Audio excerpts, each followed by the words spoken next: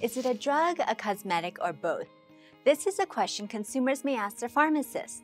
Hi, I'm Captain Catherine Chu, and this is Drug Info Rounds, brought to you by the pharmacists in FDA's Division of Drug Information. Here at FDA's Division of Drug Information, we are asked many questions that can be answered by understanding the definitions of a drug and a cosmetic. For this reason, I have asked my colleague, Lieutenant Commander Lindsay Wagner, to explain the key differences between a drug and a cosmetic. Whether a product is regulated as a drug, a cosmetic, or both under the law is determined by a product's intended use.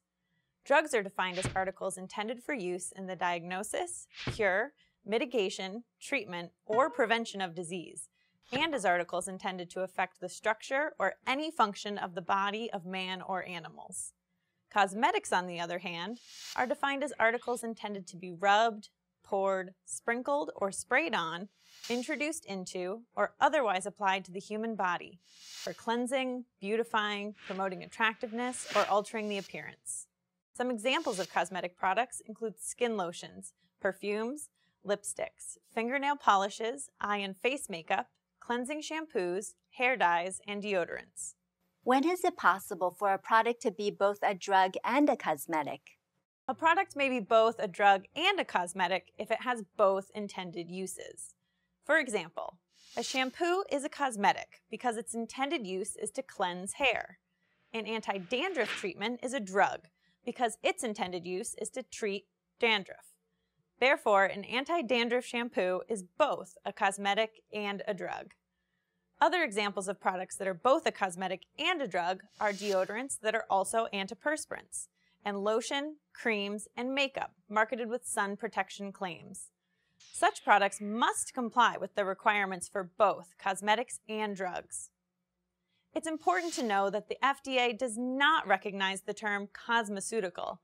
A product can be a drug, a cosmetic, or both, but the term cosmeceutical has no meaning under the Federal Food, Drug, and Cosmetic Act.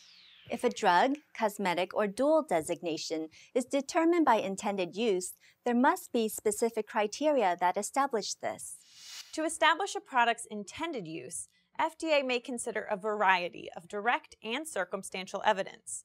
This includes any claim or statement made by or on behalf of a manufacturer that explicitly or implicitly promotes a product for a particular use, and any circumstances surrounding the distribution of the product or the context in which it is sold. For example, FDA may consider the following to establish intended use.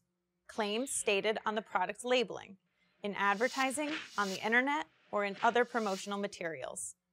Certain claims may cause a product to be considered a drug, even if the product is marketed as if it were a cosmetic.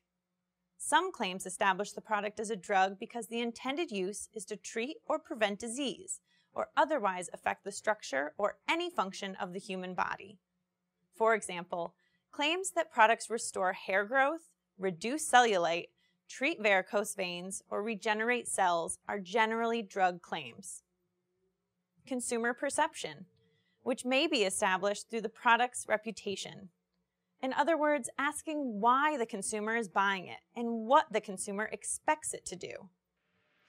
Inclusion of ingredients that have a well-known therapeutic use. An example of this is fluoride in toothpaste. This video is only an introduction to some important differences between the laws and regulations for cosmetics and drugs.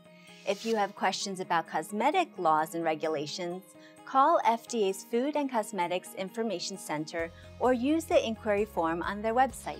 If you have questions about drug laws and regulations, call or email FDA's Division of Drug Information.